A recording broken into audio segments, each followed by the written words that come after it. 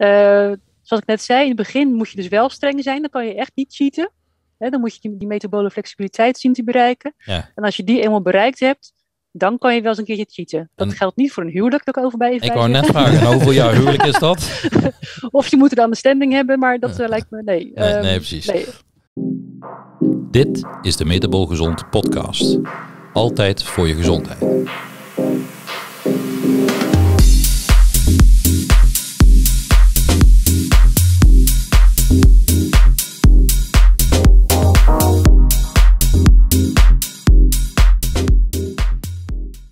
Welkom bij weer een nieuwe aflevering van de Metabol Gezond podcast, waarin wij jou de kennis geven om jouw gezondheid te verbeteren. Meer content krijg je wanneer je ons volgt op Facebook en Instagram en je vindt ons onder Metabol Gezond. De podcast kun je terugvinden op Spotify, SoundCloud, Google Podcast en de Apple Podcast app, alle onder Metabol Gezond. Bij verschillende podcast apps kun je ons volgen zodat je geen aflevering meer hoeft te missen. Daarnaast kun je ons ook terugzien op YouTube, ook onder Metabol Gezond. Abonneer je op ons kanaal om niets meer te missen. Welkom bij weer een uh, nieuwe aflevering van de Metabol Gezond podcast. Ja, goedemorgen, goedemiddag of goede avond, al naar gelang wanneer je naar deze podcast luistert. Ja, en uh, we hebben vandaag een uh, expert te gast. Eigenlijk in, in aansluiting kunnen we wel zeggen op de vorige podcast. Ja. En dat is Louisette. En Louisette, welkom. Dankjewel. En uh, we beginnen de podcast uh, als er een uh, gast is eigenlijk altijd met de vraag of je jezelf zou kunnen introduceren. Ja. Dus bij deze, de microfoon is voor jou. Helemaal goed. Nou, mijn naam is Louia Blikkenhorst. Um, wij kennen elkaar vanuit de KPNI, daar hebben we elkaar ooit ontmoet. Klopt. Um, en daarna ben ik me gaan specialiseren in het ketogeen dieet. Want um, ik ben altijd al heel erg geïnteresseerd geweest in, in voeding en wat voor effect dat heeft op de gezondheid. En het woord ketogeen dieet hoorde ik voor het eerst uh, bij de KPNI. En ik, hé, hey, dit ken ik nog niet. Dus ik ben daar verder uh, naar, naar gaan zoeken en ook zelf, bij mezelf gaan uitproberen. En toen dacht ik, wauw, ik heb nog nooit een, uh, een, een, manier gevonden die zo effectief is als, als dit, ja, deze manier van eten. Dus ik ben daar ja, in gaan specialiseren. En in mijn praktijk als orthomoleculair en KPNI-therapeut ben ik dat gaan toepassen. En toen uh, langzaam maar zeker kreeg ik steeds vaker van collega's de vraag van hoe doe jij dat? Waar heb je dat geleerd? En dat wil ik ook. En toen dacht ik na een tijdje van ja, niemand anders gaat het doen, geloof ik. Dus ik geloof dat ik maar een opleiding ga maken. En dat, dat heb ik gedaan. En die, die bestaat nu inderdaad als de opleiding ketogene therapie voor gezondheidsprofessionals. En ja, het bedrijf heet inmiddels Ketogenics Institute. En ja, het draait nu zo'n anderhalf jaar. En ik heb al zo'n honderd mensen inmiddels de revue zien passeren. En alle therapeuten die bij jou de opleiding hebben gedaan, hebben ook de opleiding afgesloten met een examen. Ja, klopt. En zijn daarmee dus gecertificeerd ketogeen therapeut. Ja, ja. En er is ook een tweede opleiding bijgekomen, omdat ook mensen die niet op HBO-niveau waren opgeleid, uh, toch wel graag wilden weten hoe ze mensen kunnen begeleiden bij een ja, ketogene leefstijl. Mm -hmm. En toen is daar nog ketogene voeding en leefstijl bijgekomen. En is meer voor nou, gewichtsconsulenten, sportcoaches uh, en andere soorten coaches die ook graag uh, ja, wat voedingsadvies willen geven. Oké. Okay. Ja, je, je zei al, uh, je hebt eigenlijk zelf ook uh, geëxperimenteerd of je bent aan de slag gegaan. Hoe, ja. hoe, hoe, was dat en hoe heb je dat aangevlogen? Daar ben ik wel benieuwd naar. Ja, nou, ik ben gewoon gaan zoeken op internet naar hoe werkt zo'n ketogeen dieet dan. En een boek gekocht, geloof ik. En toen um, dat was in ergens in januari 2017. heb ik gewoon mezelf hals over kop op een ketogene dieet gezet. En uh, binnen drie dagen had ik overal pijn. Ik had echt spierpijn. Uh, ik had benauwd. Als ik, als ik van de fiets afkwam, dan was ik echt buiten adem. Oké. Okay. Um, als ik de trap opliep, dat voelde alsof ik zwaar getraind had in mijn, uh, in mijn beenspieren. Maar ik was wel ongelooflijk vrolijk. Dan ben ik sowieso niet echt een, een zwarte kijker. Maar ik was nou, de hele dag door vrolijk. Maar ik had ook geen energiedips meer. Ik voelde me echt gewoon super. Een soort van mega mindy eigenlijk. En um, dat werd natuurlijk wel minder na, na verloop van tijd, gelukkig. Anders was het ook irritant. Maar um, en toen dacht ik daar een tijdje van, ik heb weer focus, mijn, geheugen werkt weer optimaal. Um, ik heb die middagdip niet meer. Ik, ik had geen uh, chronische ziektes of, of ziektes überhaupt, of uh, zwaar overgewicht of wat dan ook. En een paar kilo minder is altijd leuk natuurlijk, maar het was niet eens de reden. Maar ik wilde gewoon eens ervaren hoe dat was. En dat voelde zo waanzinnig goed, dat ik dacht van nou, hier moeten meer mensen van weten. Dus dat, ja, dat heb ik ook aan de lijve dus ondervonden. Dat meer mensen dat willen moeten weten. Ja, ook. maar, en wat het effect nou, is. Dit, ja. ja. precies, dat effect. Dat, dat, waarom weet niemand dit? Waarom hoort dit van niemand? En waarom is dat? Ja, dat was ook mijn... Blijkbaar is het nog onbekend. Um, ik zag wel links en rechts al wat keto-programma's uh, oppoppen eigenlijk in Nederland. Maar die waren vooral gericht op, uh, op afvallen, op gewichtsverlies. Mhm. En inderdaad uh, blijkt dat als je een ketogeen dieet begint, dat je al heel snel 2, 3 kilo afvalt. Maar dat is meestal vocht. En als je helemaal in die vetverbranding komt, dat je dan ook lekker stabiel gewicht gaat verliezen. Mm um, en dat is voor veel mensen natuurlijk de reden om, om zo'n dieet te gaan volgen. Ja, nu denken, wij natuurlijk, uh... nu denken wij natuurlijk daar lichtelijk anders over. Want overgewicht is natuurlijk een symptoom van wat er achter de schermen aan de hand is in je lichaam. En ik neem aan, maar corrigeer me als dat niet klopt, dat jij dat ook vooral in, in, in de praktijk gebruik je dat vooral om de gezondheid van mensen te verbeteren. En een bijkomstig effect is dat mensen dus afvallen. Ja, ja. Zo, zo breng ik het ook altijd. Um, naar de cursisten, maar ook voorheen naar mijn uh, klanten. Ik heb nu geen praktijk meer, maar um, als iemand bij me kwam en die zei van ik wil uh, eh, 30 kilo afvallen, dan wil ik ook weten wat speelt er bij die persoon dat die 30 kilo eraan gekomen is. Ja, precies. En dat, dan ging ik dan het wel even proberen uit te vragen. Ja. En niet zomaar rukzichtloos, hup, knal, dieet en uh, ja, succes ermee. Ja. Ben je ook, ben je ook tegen bepaalde hindernissen aangelopen. Want uh, als ik ooit met mensen, met mijn patiënten dan eigenlijk uh, begin over, over, over of het misschien interessant is om, om een ketogeen dieet te volgen. En dat nou, we in de vorige podcast ook een beetje besproken. Is dat tot nu toe vaak geweest bij mensen die een traumatisch hersenletsel hebben gehad. Ja. Um, dan kreeg ik ook wel veel terug van ja, maar ik heb al weinig energie en, en dan moet ik toch nog minder koolhydraten, al, al dat soort zaken. Hoor jij ook veel ja. uh, maars voordat mensen daaraan willen beginnen? Ja, ja zeker. Um, en ik denk dat het scheelt als je uit kunt leggen aan iemand wat de bedoeling is van dit hele uh, traject. Mm. Dat je er juist meer energie van gaat krijgen. Mm -hmm. Maar dat je inderdaad wel erop bedacht moet zijn dat je in het begin een tijdelijke energiecrisis hebt. Want dat lichaam moet wennen aan die nieuwe energievoorziening. Uh, ja, en die is zo gewend om die koolhydraten voor, uh, te gebruiken voor de, voor de glucoseverbranding. Mm -hmm. Dat neem je ineens weg. Um, ja, het is ook een beetje afhankelijk van de hulpvraag. Wil je iemand heel snel in ketose hebben? Ik kan me voorstellen na een, uh, een hersenschudding dat je iemand zo snel mogelijk ja. ketonen wilt uh, laten benutten. Um, ja, en als iemand in het ziekenhuis ligt of uh, op, op bed uh, ja, met een flinke hersenschudding, hoe ga je dan iemand in ketose krijgen? Ja. Maar ik denk um, ja, dat je dat ook nog wel op een later tijdstip kunt doen. Maar persoonlijk zou ik het liefst zo snel mogelijk willen. Mm -hmm. um, maar ik, ja, in dat, geval wil je het heel snel. Maar is het iemand die uh, diagnose van een, een van de neurologische aandoeningen heeft gekregen, dan kan je het ook gewoon rustig op gaan bouwen. Dan zou ik zeggen, doe het in stappen. Neem een paar weken de tijd om, om te wennen, om nieuwe uh, gewoontes aan te leren, om, om eens na te gaan denken van hoe ga ik dan eten, welke boodschappen moeten er gehaald worden, heeft die persoon hulp, hè, als het iemand is die niet, niet optimaal functioneert of geen energie heeft. Um, is er iemand die daarbij kan helpen, die de boodschappen kan doen, die misschien de maaltijden kan bereiden? Dus er zijn best wel veel dingen ja, die, die je daarbij ja, moet gaan bedenken.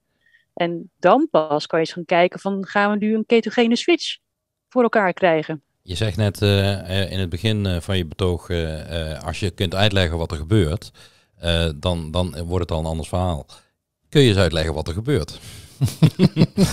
ja, je bedoelt wat er gebeurt als iemand koolhydraten beperkt? Ja.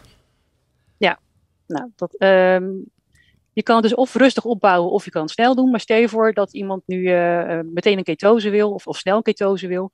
En je stopt met, met de hoeveelheid koolhydraten eten zoals menig Nederlander doet en je gaat naar zo'n maximaal 20, 30 gram koolhydraten per dag. Dat is echt, echt heel weinig. Super weinig. Uh, voor, de, ja, ik, ja. voor de luisteraars, uh, wat eet je dan bijvoorbeeld als je 20 tot 30 gram koolhydraten eet? Nou, wat allemaal afvalt uh, is brood, aardappels, fruit. Um, ook zetmeelrijke groenten zoals uh, bataat of bietjes, wortels. Um, of je moet het in hele kleine hoeveelheden eten. Maar bijvoorbeeld een banaan, uh, die valt al af, want een uh, middelgrote banaan is al snel 30 gram koolhydraten. Dus ja, uh, ja dan zet jij je dagdosis. Ehm, en wat eet je dan wel? Dat is voornamelijk ehm, ja, bladgroentes. Ehm, ik heb trouwens een hele mooie lijstje daarvoor. Kan je precies uh, op een rijtje zien staan. Wat in het groen staat kan je wel eten, in de rood kan je niet eten. Komen we nog op. Op, op jouw lijst. Maar goed, dat is een handig, handig hulpje. Maar ja, dan, uh, dus ja, zetmeelarme groentes kun je eten, dus bladgroentes. Uh, je kan eieren eten, vis, kip, dus dierlijke eiwitten. vetten kun je natuurlijk eten. En ja, dus alle koolhydraten vallen, vallen daarmee af. En wat gebeurt er dan? Dat lichaam krijgt een energiecrisis, want die was gewend om die koolhydraten lekker te verbranden voor de glucose. En dat valt ineens weg. Dus er moet ehm, even worden uh, gebladerd in, het hand, in de handleiding energievoorziening in dat lijf. En uh, zo'n 24 tot 48 uur later begint al een klein beetje ketose op gang te komen. Nou, wat gebeurt daar dan? Dat lichaam moet gaan zoeken naar alternatieve brandstoffen. Um, en dan heb je een paar alternatieven. Je kan vet gaan verbranden. En je kan um, uit uh, uh, ja, lichaams-eigen eiwitten eventueel glucose halen. Hè, de gluconeogenese. Nou, dat is eigenlijk niet de bedoeling, want dat is een, een plan C eigenlijk. Hè, de, de hmm. ultieme uh, noodoplossing voor de energievoorziening. Mm En vet, ja, de meeste mensen hebben genoeg vetvoorraad om zonder, ja, even, even theoretisch gezien, om een paar marathons achter elkaar te kunnen lopen. Zoveel energie, energie zit er in het lijf aan vet. Ja. Dus als we nou ehm, dat lichaam weer laten uh, ja, zoeken naar energie en die vindt die vetvoorraad, dan worden dus vetten verbrand. Dat is in de eerste instantie voelt het al lekker, want je hebt ineens een nieuwe uh, energiebron aangeboord. En um, een paar dagen daarna, of, of, enkele uren, het ligt een beetje aan hoe, hoe snel je bent in je, in je omschakeling, hoe flexibel je bent. Um, dan worden die, uh, die, die vetzuren afgebroken en dan worden ketonen uitgevormd. Dat is eigenlijk een bijproduct. Dat is een, een ja, een bijproduct uit de vetverbranding. Dus, dus eventjes uh, voor, de, voor de duidelijkheid uh, een klein resume. Normaal gesproken ja. hebben onze cellen een voorkeur voor glucose als brandstof, wat prima is. Ja. Ehm, en ons, ons lichaam is in staat om eventueel uit andere substanties als koolhydraten dus uit vetten en eiwitten. En eiwit is dan plan C, eh, wat eigenlijk eh, niet de bedoeling is dat dat heel vaak gebeurt. Uh, eveneens glucose te maken. Ja.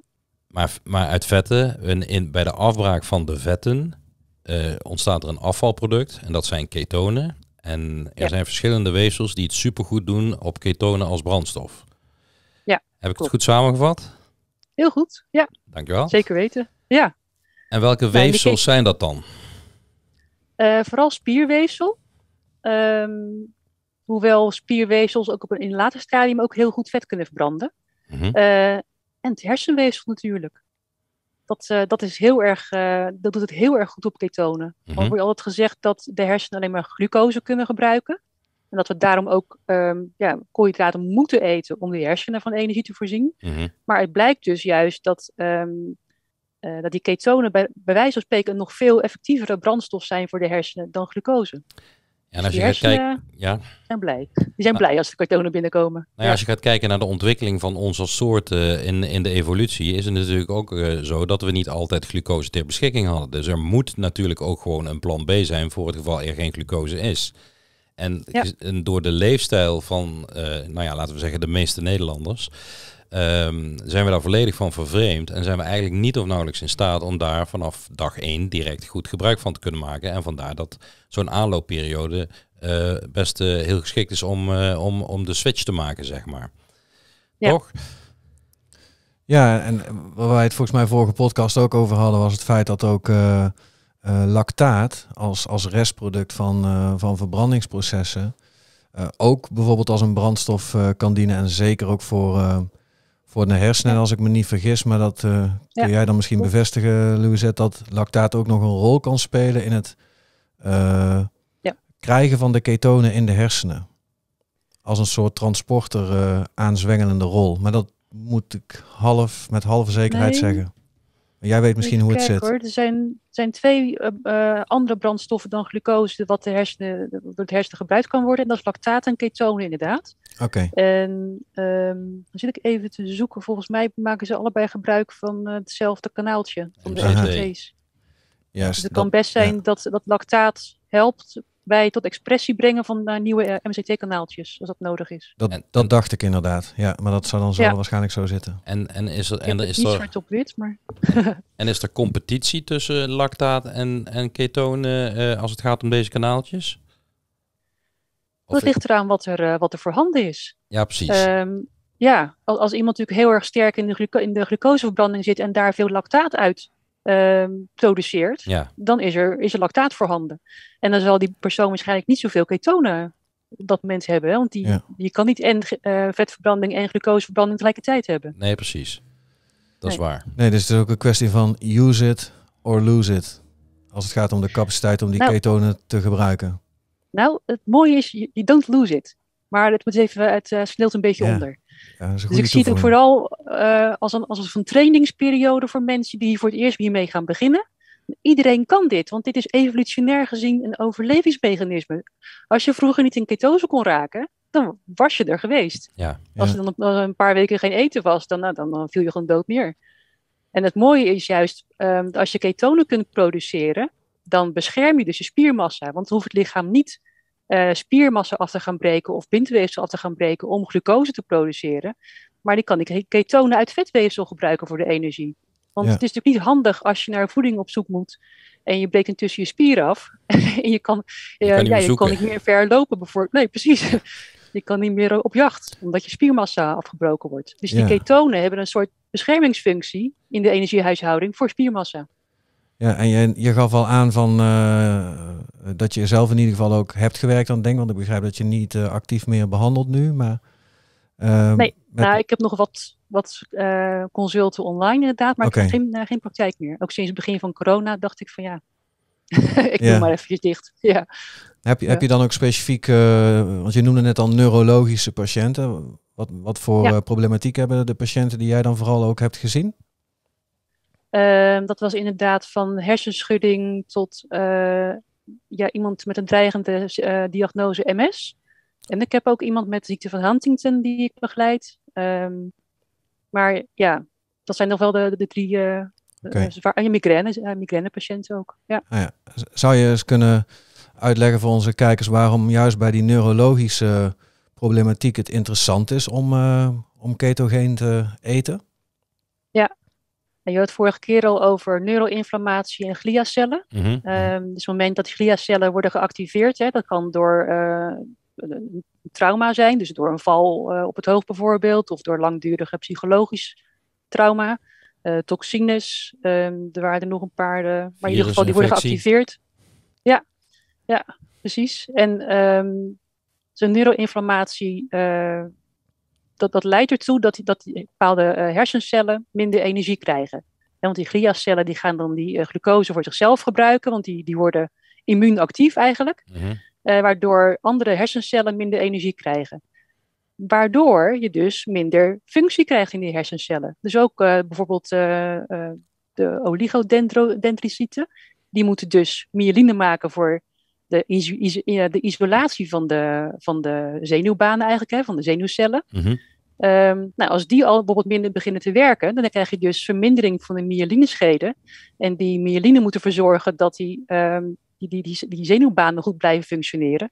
Nou ja, als je daar natuurlijk al een degeneratie krijgt, dan krijg je dus schade aan die, aan die zenuwbanen. Uh, de neuronen zelf krijgen minder energie, kunnen minder goed functioneren. Dus ik heb een cascade eigenlijk van ja, degeneratie in de functie van de hersencellen.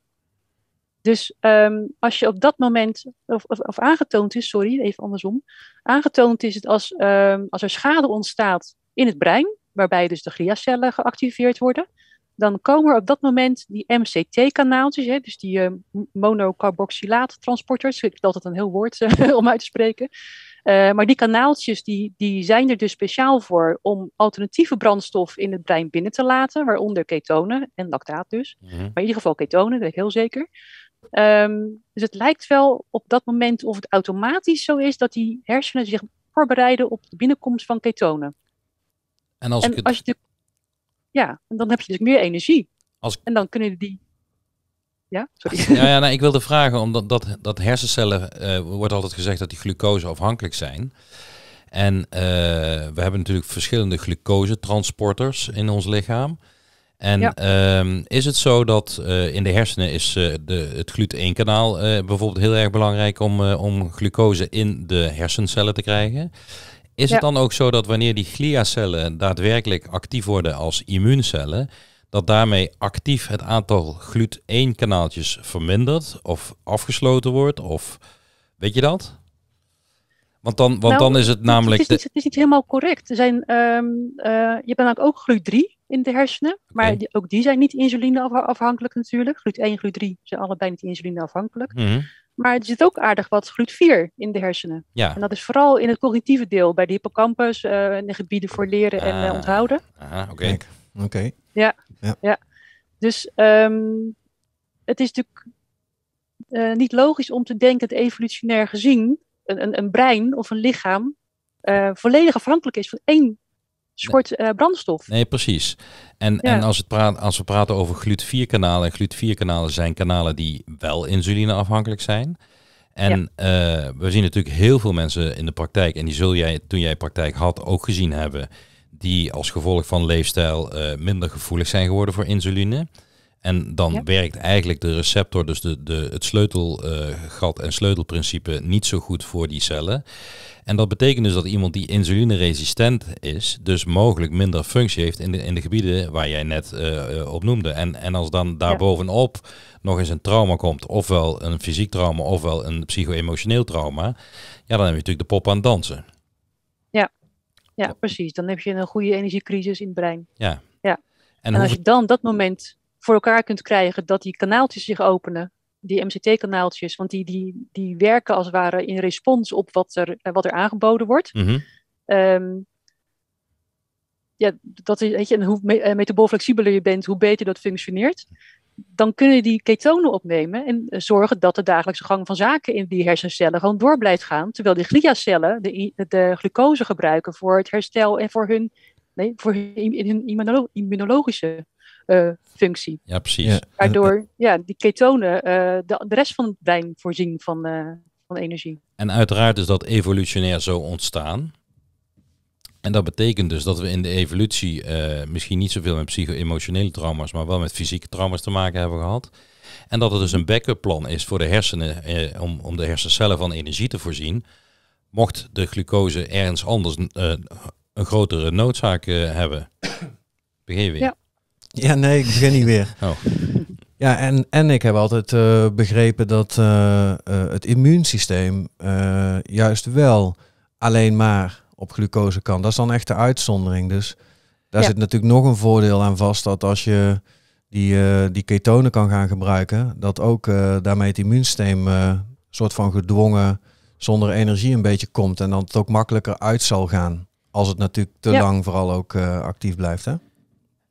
Ja, klopt. Dus je zou ook merken als mensen een, eh, een actief immuunsysteem krijgen en ze zijn metabool flexibel en ze kunnen snel ketonen genereren en gebruiken, ehm, dat ze ook minder eh, ja, last hebben van, eh, ja, van, van een mistbank in hun hoofd of dat ze Ja. uitval hebben, dat ze langdurig in bed moeten liggen om te herstellen.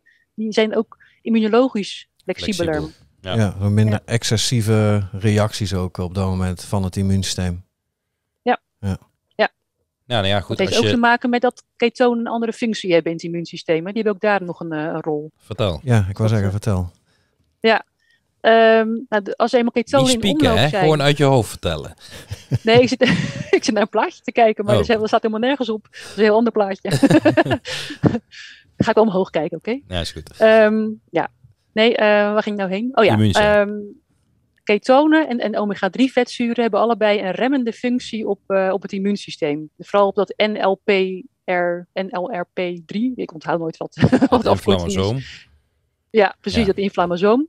Eh, daar heeft het een regulerende functie op. Je hebt een immuunreactie nodig op het moment dat je een infectie hebt. Dat moet wat gebeuren, dus het mag niet helemaal uit natuurlijk. Maar het moet binnen een bepaalde tijd ook weer uit kunnen gaan. Dus je wil niet die overreactie eh, van het immuunsysteem.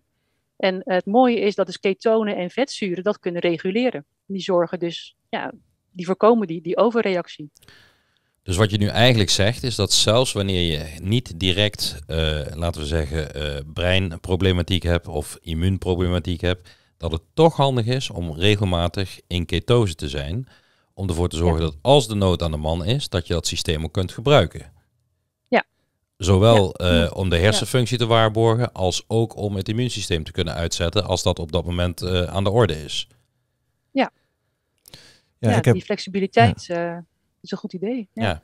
ja, ik heb re- recent een verhaal gehoord van iemand die eh, eh, in ketose eh, was. Omdat hij namelijk op een eh, soort intermittent living eh, week was. Dus daarbij, eh, nou ja, at naar. Naar eh, on-demand. Dus als er iets beschikbaar was, wel en anders niet. Eh, heel de dag bewoog en dergelijke. En die daar een, eh, een trauma opliep. Dus die is, die is gevallen en had letterlijk een, een gat in de kop. Ja. En die heeft maximaal 48 uur daar eigenlijk last van gehad. En was toen alweer terug om gewoon die week ook af te kunnen maken. Met eigenlijk gewoon heel erg goede energie. En Ja. nauwelijks klachten. Dus dat was een mooi voorbeeld van hoe een, een ketogene status eh, ook eh, ja, preventief werkt in, in herstel als je iets oploopt inderdaad. Wat vroeger natuurlijk ja, nou ja, normaal was dat je daar regelmatig in zat. Die, Ja. ke- die, dat ketogene eh, ja, status. Ja, ja, ke- Louisette vertelde net voordat we de, de uitzending begonnen dat, eh, dat ze eigenlijk nergens het, eh, ja, Ja, we komen daar het woord ketogene status eh, heeft kunnen vinden in de literatuur. Ja. En eh, vroeg ons uitleggen wat betekent dan ketogene status. Nou, voor ons betekent een ketogene status dat je niet continu in ketose bent, maar dat je in en uit eh, ketose eh ja, Ja. cycelt, zoals ze dat dan in het Engels zeggen. Ja. Eh, nou ja, duidelijk. Ja, Ja, ik zou, ik zou dat metabol flexibel noemen. Dat is vind- wel in de literatuur te vinden. Dat je makkelijk kunt switchen tussen glucose en vetten en nou, naar, Precies. naar wat je nodig hebt, inderdaad. eh ja, was het ook beter bij overschakelen. eh metabol gezond. Zo is metabol dat. flexibel. Ja. Ja. Ja. Inderdaad. En nu, eh, nu is het natuurlijk zo dat eh, jij eh, aan, aan de hand van al die eh, mensen die je hebt opgeleid, ehm, dat die mensen natuurlijk een, hun eigen praktijken hebben en dergelijke. Als, als mensen nu zeggen van, goh, wat een interessant verhaal en ik wil er eigenlijk meer van weten en ik zou wel eh, wat meer eh, over dat eh, ketogeen eh, instituut willen lezen, waar zouden ze jou dan kunnen vinden? Ik heb een website, Of course. ketogenicsinstitute.com. Tegenwoordig is hij in het Engels. Vroeger was het Ketogene Instituut, maar hij, we hebben een Engels slagje gemaakt. Ehm, ik heb een podcast, de Keto Podcast. Daar kun je ook van alles horen en leren over ketogeen dieet. Ehm, ja, ik heb een blog op de website. En je mag me ook gewoon bellen en mailen als je vragen hebt. Dat eh, vind ik alleen maar leuk. Ja, Nou, we zullen in ieder geval eh, al deze dingen in de beschrijving zetten van de podcast. Dan kunnen mensen daar gewoon eh, kijken. Kunnen ze je daar ook terugvinden. En er is natuurlijk een, eh, een, eh, een ketogeen leefstijlprogramma wat mensen online kunnen volgen. Ja, Want je had het net over eh, de, de praktische eh, keto eh, leefstijllijsten en dergelijke. Kun je iets uitleggen over dat, eh, over dat programma? Ja, ehm, dat, dat het programma is een, is een faseprogramma. Dus die gaat in, stappen naar een ketogene eh, status eigenlijk, hè, zoals jij hem noemt. Ehm, en dat is pas fase 3 eigenlijk. Dus bij fase 1 begin je eigenlijk met, eh, met, met voorbereiding op eh, ja, hoe sta je er nu voor, hoe zie je er nu uit, hoe eet je nu. Ehm alvast een beetje oefenen met waar zit de koolhydraten in en waar niet. Mhm. En pas dan in de volgende fase ga je beginnen met nieuwe gewoontes. Dus ehm, je gaat je keukenkastjes eh, leeg gooien. Dus alle meuk gaat eruit. Je gaat nieuwe inkopen doen, nieuwe recepten proberen. Je mag nog eh, wel wat fouten maken. Maar je gaat ook al een beetje werken met die, met die keto-lijsten, zoals jij eh, net al zei. Mhm. Ehm, en dan eet je eigenlijk al een beetje paleo-achtig. Dus bepaalde koolhydraten gaan er al uit. Maar je bent nog niet echt ketogeen aan het eten. En pas daarna ga je naar de ketogene fase. Eh, of ja, ze noemen hem dan.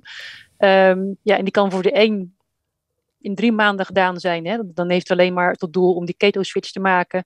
En om eh, keto-adapted te worden. Hè? Dus het lichaam te laten wennen aan die ketone eh, aanwezigheid. En het ook te gaan benutten.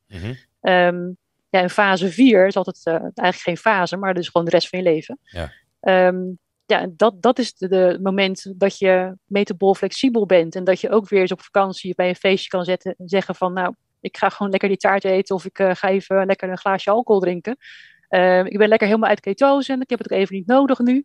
Ehm, maar als ik terugkom, dan wil ik het wel weer oppakken. En dan eh, zijn er een paar dingen die je kunt doen om weer licht in ketose te komen. En dan, ja, dan kan je er ook mee gaan spelen. Dan kan je de in en de uit, zoals je net zei. Ja, precies. En ja, dan heb je, dan heb je gewoon uh, van, van alles wat. Dan, dan kan je en jezelf tracteren op wat lekkers, of eens een keertje een broodje eten als je dat graag zou willen. Maar je kunt ook weer makkelijk terug uh, ja, naar, naar, die ketogene fase. En dat uh, werkt heel goed. En, en als je nou zegt van, uh, ik adviseer de mensen in mijn praktijk heel vaak om in, is te starten met het overslaan van een maaltijd en dus de, de tijd die ze niet eten te verlengen. Tot 16 uur, 17 uur.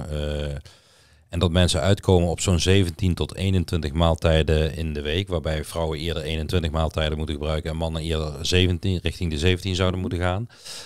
Um, ik heb altijd begrepen dat wanneer je 16 uur, 12, 13 uur nuchter bent, dat dan de hoeveelheid glucose en glycogeen in je lichaam wel een heel eind opgebruikt is. En als je op dat moment uh, zou gaan ja, sporten en, en daarmee dus nuchter bewegen, dat je dan al een begin maakt met het in ketose komen. En ehm, kun je uitleggen of dat, dat A klopt en B als het niet klopt, wat we dan wel zouden moeten doen om alsnog uh, daar flexibeler in te worden? Ja, nou, hoe flexibeler je bent, hoe, hoe beter dat functioneert. Dus um, inderdaad, iemand die behoorlijk metabool flexibel is, um, die kan inderdaad binnen 16 uur en met extra sporten erbij en misschien sauna bezoek of juist een koude prikkel heel goed uh, dan al beginnen met ketonen produceren mm -hmm. uh, en in ketose raken. Maar het gaat niet alleen maar om het, het maken van die uh, ketonen, maar ook om het benutten ervan. Juist. En wat je nou ziet in het begin als iemand voor de eerste keer van zijn leven in ketose raakt, is dat als je het dan meet in de urine, en in de urine meet je dan ketonen die niet benut zijn, maar naar buiten gegooid zijn. Uiteraard. Dan hebben ze pimpelpaarse ketostikjes met heel veel ketonen. Um, en dan, om, om ze te kunnen benutten in het lichaam, moet er eigenlijk nog een conversiestapje uh, plaatsvinden van acetoacetaat naar beta-hydroxybutyraat. Mm -hmm. En die BHB, die kun je weer meten in het bloed. Uh, en in het begin zie je dat uh, de ketonen in het urine hoog zijn en in het bloed laag. En dat gaat verschuiven. Op een gegeven ogenblik is het laag in de urine en hoger in het bloed. Uh, waardoor het, ja, alle lichaamsweefsels beter gebruik kunnen gaan maken van die beta-hydroxybutyraat. Dus als je een ketostick gebruikt om te kijken of dat je ketonen hoog zijn in je urine, wat heel vaak gedaan wordt en waarvan mensen dan zeggen van kijk, ik ben in ketose, ja. dat verhaal klopt ja. dus niet. Dat klopt nou ja, deels. Um, dat klopt deels. Deels. Ja, deels. Ja. Want wat, wat ik je eigenlijk wel wil. altijd. Ja. Die switch, die kom, moet vanzelf komen? Of? Dat, dat is de keto-adaptatie, Ja. zo noemen we dat. Dus iemand die, ehm, ik zie bijvoorbeeld mensen die heel erg keto-adapted zijn, die bijvoorbeeld al langdurig in ketose zijn, die, die mensen zijn er wel, dat kan wel eens noodzakelijk zijn. Ehm, die hebben nauwelijks eh, eh, ketonen in de urine, dat kan je ook niet meer meten met, met zo'n stickje. Mhm. Maar als je in het bloed kijkt, dan, dan meet je bijvoorbeeld 2,5 aan ketonen, Ja, ja. wat heel hoog is. Ja. Dus En- dat, ja, en zelfs dat kan nog gaan dalen als na een tijdje, eh, als er een noodzaak is voor heel veel extra ketonen gebruik in het lichaam. Dan zie je het ook in het bloed dalen, want het wordt gewoon meteen opgebruikt.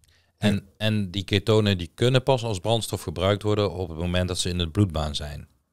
Ja. Correct. Nee, dan Ja. begrijp ik het goed. Ja, en kunnen er dan ook, eh, vast wel zou ik dan bijna zeggen meteen, maar kunnen er ook redenen zijn dat iemand niet tot eh, dat keto adapted komt? En zo ja, Eh, ja, is dat, eh, is, kun je daar eens iets over zeggen? Daar ben ik ook eh, benieuwd naar. ehm, als iem- iemand die bijvoorbeeld intermittent fasting doet, dus kort en acuut in ketose is, ehm, die zal niet keto-adapted worden. Niet als je het, of je moet het echt elke dag gaan doen, dan Hm. wordt het al een beetje beter. Maar als je echt keto-adapted wilt worden, zul je het een tijdje moeten volhouden. Ik denk minimaal drie tot vier weken, liefst iets langer. Ehm, om, om, om in de beginfase van keto-adaptatie te komen. Dus dat moet je echt eventjes eh, even beter volhouden. Ik ga testen. Ehm, Ja, ik wil het ook Ja. gaan testen. Ja. ja, nou, daar heb ik nou een leuke opleiding voor. ja. Dus het is vooral een factor eh, tijd, want de capaciteit die is er. Dat zou wel moeten. Ja. Ehm, er zijn wel een aantal valkuilen waardoor het bij mensen niet helemaal lekker lukt. Ehm, om even een voorbeeld te noemen. Iemand die net ehm, ja, heftig ontstoken is, hè, dus een flinke inflammatie heeft. Ehm, of bijvoorbeeld mitochondriale schade heeft. Die zou ik niet gelijk in ketose willen hebben. Ehm, gaat ook niet lukken, denk ik. Want die zit in de anaerobe glycolyse. Dus die Ah, ja. is lekker aan het glucose verbranden. En is ook niet bereid om naar vetverbranding te gaan. Of om naar ketose te gaan. Dat gaat gewoon niet lukken. Nee. Dus dan moet je eerst het immuunsysteem naar huis sturen. Misschien dat je de stress moet laten eh, zakken met adaptogene kruiden bijvoorbeeld. Uh, voordat het lichaam bereid is om vetten te gaan verbranden en dan dus ook ketonen te gaan maken. Ja, als, als, ja. Wil je nog verder? Oh, ik kan nog uren verder. Ja, dat weet ik. Nee, maar ik bedoel over dit specifieke uh, onderwerp. Want als ik naar mezelf kijk, ik ben natuurlijk vijf jaar geleden begonnen uh, cold turkey met uh, intermittent vasten en nuchter bewegen. En, en ik kan me nog heel goed herinneren, en, en luisteraars van de podcast hebben dit verhaal natuurlijk al vaker gehoord, maar ik kan me nog heel goed herinneren dat ik zeker in die eerste vier weken gewoon echt een gebrek aan, aan energie in mijn brein had in die nuchtere periode. Omdat ik gewoon, uh, ik, wat, ik was duizelig, ik zag dubbel, uh, uh, noem het maar op. En het enige wat ik deed was wandelen met de hond. Ja. En ik heb in de afgelopen vijf jaar, ik denk dat ik uh, 98% van de tijd rond de 16 uur nuchter ben. En uh, dat ik uh, op uh, vijf van de zeven dagen ook in die nuchtere tijd sport. En dat is zowel krachttraining als hardlopen en, en dergelijke. Nou, in het begin had ik dat waarschijnlijk helemaal niet gekund. Maar ik begin me nu dus af te vragen in hoeverre dat ik daar metabol flexibel ben en, hoe en of ik zo flexibel ben als dat ik denk dat ik ben. Nou, zeker bij mensen die nog niet zo metabolflexibel zijn, is het echt wel nodig om die, die koolhydraatinname te beperken tot 30 gram per dag. Ja. Um, ben je nou niet metabolflexibel en je daalt bijvoorbeeld naar de 100 gram koolhydraten per dag, dan blijft je lichaam het achterdeurtje gebruiken van die koolhydraatverbranding. Want waarom zou je moeilijk doen als het makkelijk kan, hè? denkt ja, het lichaam dan? Dat is ook zo. Dat gaan we niet doen. Maar het is ook niet voldoende om je de hele dag goed van de energie te voorzien. Dus je gaat een beetje tussen wal en schip vallen op dat moment. Ja. Nou, ik, ik heb uh, deze week bijvoorbeeld ook gemerkt, uh, nadat ik uh, vorige week een zeker viraal infect had opgelopen. Mag tegenwoordig niet meer zeggen, want dan word je geband. geband en zo. Kom je niet op Spotify? Cancelled. Ja. ja. Dat ik ook zeker deze week heel anders was in, in metabole flexibiliteit. Ik heb dat wel gemerkt. Dus ik moest meteen denken aan wat je net vertelde over het immuunsysteem. Ja. Ik denk dat mijn lichaam wel e-, even een beetje terug moet naar de flexibiliteit die, uh, die er was. Maar ik ga zeker ook, uh, ook, ook, testen hoe het zit met, uh, met mijn ketose. Want je hebt me wel nieuwsgierig ja. gemaakt in ieder geval. En ik, ja. ik, ik, ik, hamer dat ook altijd in bij mijn cursisten. Van je moet altijd die ketonen meten. Want je, je kan niet gokken. Nee. Je moet echt even meten. Je kan niet aannemen dat het, dat het gebeurt, zeg maar. En, nee. en, en, er zijn, en er zijn dus uh, tools om, om A, te, be, te bepalen uh, in hoeverre dat, uh, dat die ketonen geproduceerd worden. En, en ja. dus ook om te zien of dat de ketonen die geproduceerd worden ook daadwerkelijk als brandstof gebruikt kunnen worden. Ja. Nu ja. Ik heb dus ook mensen gezien die hadden wel pimpelpaarse keto-stickjes. Ja. Maar die maakten niet die switch naar, naar ja, goede naar, naar keto-adaptatie. Die nou, bleven ook met een ruiker naar aceton, zal maar zeggen. -hmm. ja. En dan zit er ook nog iets, iets tussen wat, uh, wat een beetje roet in de eten gooit. En heb je uitgevonden wat dat was? Ja, maar dat gaat ze jou uh, niet vertellen. Dan moet je die cursus voor komen volgen. Oh ja. oh nee, dat wil ik best vertellen. Uh, dat is ook veel vaak bij mensen die um, beginnen met een, met een eiwitrijk dieet. Dus die gaan bijvoorbeeld van een, een normaal Nederlands voedingspatroon van, meteen op zo'n zo'n zo eiwitshake dieet bijvoorbeeld. Ik noem even geen namen. Maar uh, die raken wel in ketose, maar die raken ook in hun noodenergievoorziening en die mm. schieten in de gluconeogenese. En waarmee ze dus hun eiwitten en spieren gaan afbreken. Ja. Terwijl wat je wilt is dat het lichaam leren dat ze weer vetten gaan gebruiken. En dat is nog net even een andere afslag. Maar dat moet je wel faciliteren in het lichaam door ja, ook wel vet te gaan eten. Dus dan, ja. dan zit je ook nog vooral met een uh, scheve verhouding uh, eiwitten en vetten in dat geval kan. Als je later metabol flexibel bent, ja, dan kan je dat weer wel doen. Ja, juist, ja. Juist. je moet het wel in de juiste volgorde doen. Nou lees ik uh, ook uh, nog uh, termen zoals dirty keto. En kun je eens uitleggen, ik neem aan dat jij weet wat dat betekent, dus kun je uitleggen wat dat betekent? ja, ja, mijn beeld bij dirty keto is dat er allerlei producten worden gebruikt die niet clean zijn. Dus allerlei um, ja, zoetstoffen zoals erythritol, stevia. Ja, het is, het is niet ongezond. het, is, het is niet uh, slecht. Het is ook niet uh, gezond. Het is een beetje grijs gebied. Ja. Um, ja, en er worden allerlei producten gebruikt um, die wat mij betreft niet uh, ja, bij een ketogene leefstijl horen. En dan praat je over um, exogene ketonen bijvoorbeeld. Ja, ook daar wil ik best wel een lans verbreken.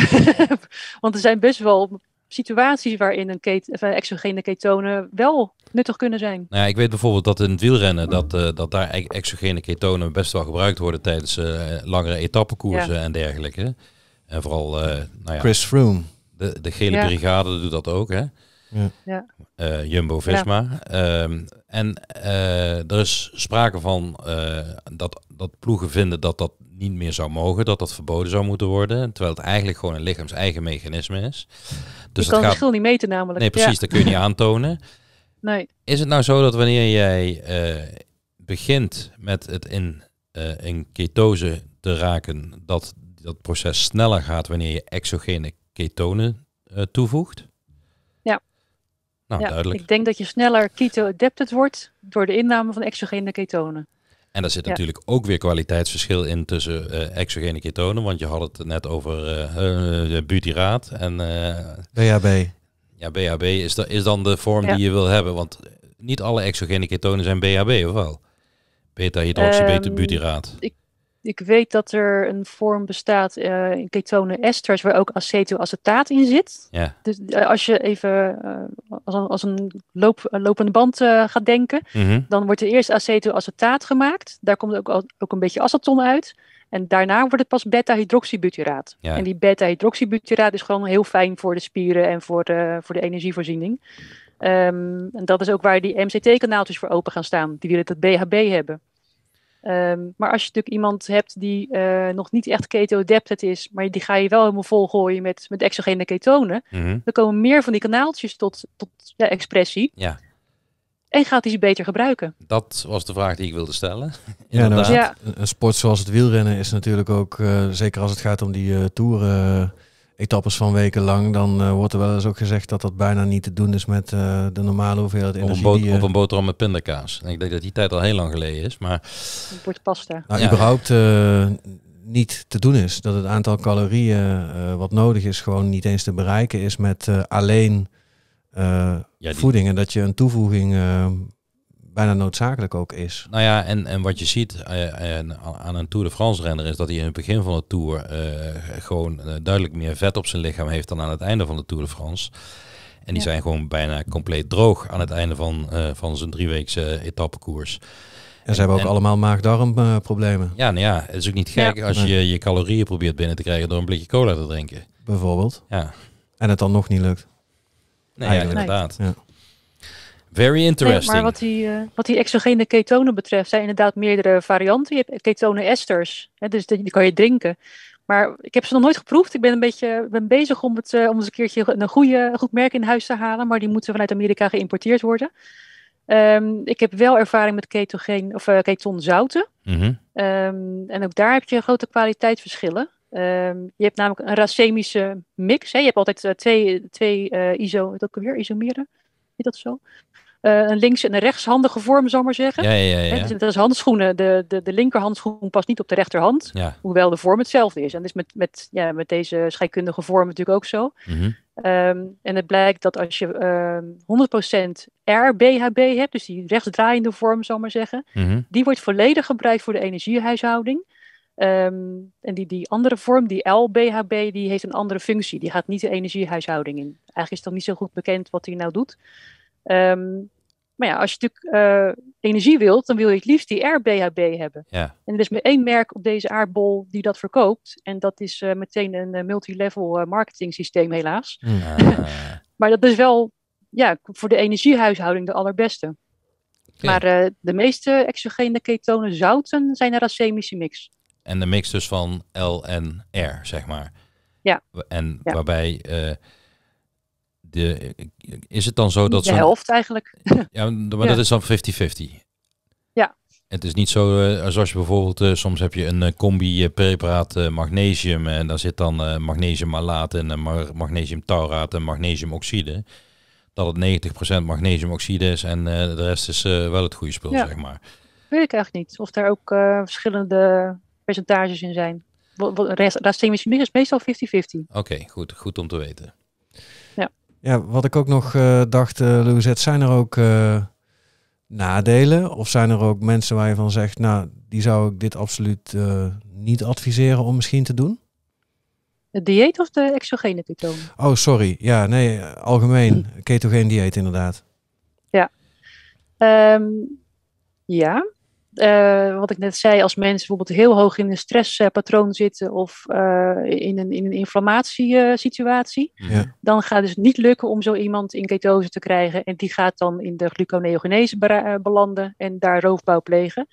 Dus ehm, als bij iemand zoiets speelt en die ketose wil niet lukken, geef het dan even op. Eh, geef dan het lichaam gewoon extra koolhydraten, want die heeft zijn energie hard nodig voor Dan is, herstel. dan is het gewoon niet de juiste, juiste voedingspatroon op dat moment.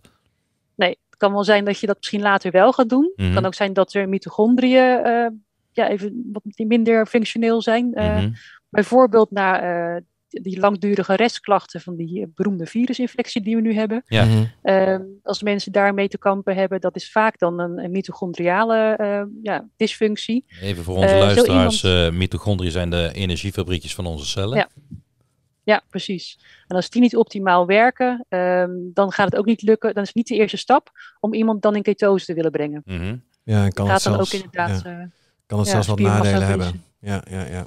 Ja. En zijn er ook afwijkingen of zo bekend? eh, ja, ik kan me eigenlijk niet voorstellen. Maar zijn er ook echte afwijkingen bekend waar Ja. het voor mensen niet oké is om het überhaupt eh, te doen? Ja, eh, er zijn bepaalde metabole aangeboren afwijkingen. Daar heb ik een heel lijstje van, die weet ik niet uit mijn hoofd. maar die missen Nee. bepaalde enzymen bijvoorbeeld, waardoor ze niet eh, ehm, de carnitine kunnen gebruiken of de, de vetzuren kunnen omzetten. Dat, eh, maar goed, die mensen weten dat meestal al vanaf jongs af aan dat ze dat hebben. Ja, wat ik ook zou willen adviseren bij mensen die chronisch al, alcoholverslaafd zijn, om daar een beetje op te passen. Je kunt namelijk eerder in ketoacidose raken.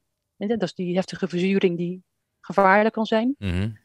Ehm, ik zou ook bij mensen met een eh, eetstoornis, zoals bulimia of eh, Anorexia. anorexia nervosa, ja. Ehm, om daar niet met een voedingspatroon te beginnen waarbij ze iets moeten gaan tellen. Want bij ja, een ketogeen dieet moet je toch koolhydraten Ja. gaan tellen. En ik, heb ervaring met twee dames die dat hadden en die werden heel obsessief. Dus dat, dat was niet de goede, goede moment ook voor deze. Ja, Ja, precies. de focus En, gaat eh, dan nog ja. iets meer naar het verkeerde. Ja, Ja, precies. ja. Ja. Oké, Ja. helder. Volgens mij hebben we best wel een eh, mooi verhaal rond, Volgens mij denk ook. ik. Of wilde jij nog iets eh, graag toevoegen? dat is een hele gevaarlijke vraag. ik kan Ja. die dagen over vertellen. ja. Heb je nog iets van Nou ja, gevoel dat- gemist wat niet eh, genoemd is, wat mensen wel moeten weten voor nu misschien? Ehm, ja, nou, als je wilt beginnen inderdaad, als je denkt, nou, een ketogeen dieet zou misschien voor mij wel een goed, eh, goed iets zijn, hè, een goede interventie. En ik zou eigenlijk bijna tegen iedereen wel willen zeggen, ga het gewoon eens een keertje trainen. Het is, het is een soort van, eh, eh, mensen gaan naar de sportschool om spieren te trainen. En waarom zou je ook niet een paar keer per jaar je metabolisme trainen op deze Hmm. manier? Mhm. En dat kan je natuurlijk ondersteunen met, met intermittent fasting, met, met koude prikkels, met warmteprikkels. Hè. We, we kennen de hele riedel. Ja. Ehm, ja, train dat vooral, want op een dag heb je het misschien nodig. En dan is het maar verdomd handig als je, Als het systeem goed werkt. Ja. Ja. ja, als je flexibel bent. Maar goed, als jij zegt, Louzet, eh, ik eh, kan wel de hele dag hierover praten, dan eh, denk ik dat we je gewoon moeten uitnodigen om nog eens een keer terug te komen. Ja, is goed. Ja, lijkt me ook leuk. Ja, dan eh, nou, leuk. gaan we je wat concrete vragen voorleggen, zeg maar. eh, eh, vandaag was het natuurlijk een beetje van eh, wat kun je doen, eh, wat is eigenlijk een ketogene leefstijl en eh, hoeveel impact heeft dat eh, bij bijvoorbeeld een neuroinflammatie, aangezien onze vorige podcast daarover ging. Ja. En eh, nou ja, ik eh, denk dat het de tijd is om, om de quote van de week te doen. En ik heb er eentje uitgezocht over, over een ketogeen leefstijl. En daar staat, ik vond hem echt, ik vond hem echt grappig, maar goed. het, het was, het is in het Engels, keto is like marriage. It doesn't work if you cheat. Dus Ja. keto, een ketogene leefstijl is als een huwelijk. Het werkt niet als je vals speelt. Nou, deels waar. En, Zal ik hem toelichten of niet? ja, doe maar. Doe eens. Eh, zoals ik net zei, in het begin moet je dus wel streng zijn. Dan kan je echt niet cheaten. Hè, dan moet je die, die metabole flexibiliteit zien te bereiken. Ja. En als je die eenmaal bereikt hebt, dan kan je wel eens een keertje cheaten. Dat En- geldt niet voor een huwelijk, dat ik over bij je Ik wou net vragen, nou, hoeveel jaar huwelijk is dat? Of je moet er dan de standing hebben, maar dat eh, lijkt me, nee. Nee, Ehm, nee, precies. nee. Wat ketogene leefstijl betreft, dan kan je dus wel eh, af en toe... eh, Af en toe een cheaten, beetje ja. cheaten. Oké. En we niet vergeten je vraag te stellen, Menno. Ja, eh, aan onze gasten vragen wij aan het einde van de podcast altijd... Louisette, wat doe jij om metabool flexibel te blijven? Ja, dat is voor de hand liggend. Ja, dat dacht ik ook al. eh, eet, Ja. Ik eet eh, heel vaak ketogeen, ja. Ja. En ik eh, douche koud. Dat eh, doe ik ook. Oké, en oh, eh, nou ja, het is eigenlijk al het einde van de podcast, maar ik eh, volg jou natuurlijk op socials. En eh, ik wilde je eigenlijk vragen, want eh, als ik het goed begrepen heb, ben jij eh, eventjes in de weer geweest met het carnivore dieet. Ja, hoe Ja. dat, dat eh, bevalt. Ja, wisselend. Ehm, ik vind het verbazingwekkend hoe goed ik mij daarbij kan voelen. Ja. Want je krijgt een, een, een, een glucosespiegel als een gladde zee, zou ik maar zeggen. Mhm. Dus eh, ook helemaal geen, geen cravings. Eh, ik kon met eh, ja, een ketogene leefstijl nog wel eens denken, nou, zou ik wel geen chocola eten? Ja. is toch maar, ja. maar dat heb ik met carnivore niet. Ehm, er gebeuren wonderlijke dingen met je Ze- maar dat was in mijn geval positief, moet ik zeggen. Mhm. Ehm het wordt juist heel rustig. Mhm. Ja, eh, voor mij voelt het heel rustig en goed. En ik heb intussen eh, een, eh, een gast voor mijn eigen podcast. Die komt eh, volgende maand spreken. En zij volgt al twee jaar lang carnivore dieet. Cool, Oh, en dat, nice. eh, ja, dat Die- gaat heel erg goed. die gaan we zeker luisteren. Ja. Ja. Ik heb het eh, mijn patiënten ook wel eens aangeraden. We weten natuurlijk uit de opleiding eh, dat, eh, dat voldoende eiwitten per, per kilogram lichaamsgewicht van enorm belang is voor allerlei functies in ons lichaam. En Ja. ik heb de ervaring in de praktijk dat als mensen zich echt een maand lang kunnen committeren aan het doen van een volledig carnivore dieet, dat, dat de darmtoestand enorm verbetert. Uiteraard Ja. is de aminozuurpool dan gevuld, et cetera, et cetera. Dus dat kunnen we allemaal wel uitleggen. Dus Ja. eh, ik had eh, via mijn eh, patiënten al de ervaring dat het vaak heel goed kan werken als, er, als er problematiek is. En nou ja, ik vroeg me dus af hoe jij dat ervoor, of ervaren Ja. hebt in de afgelopen weken. Ja, ik heb wel een paar dagen een bazenpoeder erbij geslikt. Omdat ik het idee dat het ook heel zuur werd. Ik had een eh, raar luchtje om me heen. Dat was anders dan, eh, dan ketonen. Want die kan Ja. je natuurlijk ook wel eens ruiken in het begin. Ja. En toen dacht ik, nou misschien ben ik nu wel aan het verzuren. Maar dat was ook een paar dagen later weer helemaal weg. Dat zal Dus dat, eh, ongetwijfeld ook een systeem zijn waar je adapted voor moet raken. Ja. Ja. Precies. Dat denk ik ook. Nou, ik denk als interventie dat je dat prima wel eens kunt doen. Ja. Perfect. ja, dan gaan we hem afsluiten. Hè? Denk het wel. En dan eh, tot over twee weken weer. Tot over twee weken. Deze podcast werd mede mogelijk gemaakt door Metabol Gezond.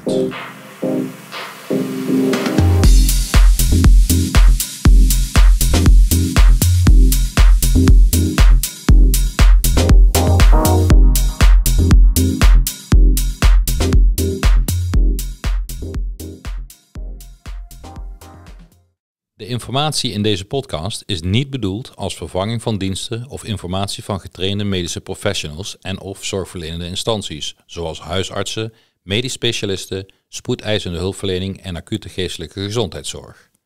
De informatie in deze podcast, noch de gebruiksmogelijkheden, kunnen gezien worden als een vervanging van medische of andere professionele hulp, zorg of ondersteuning.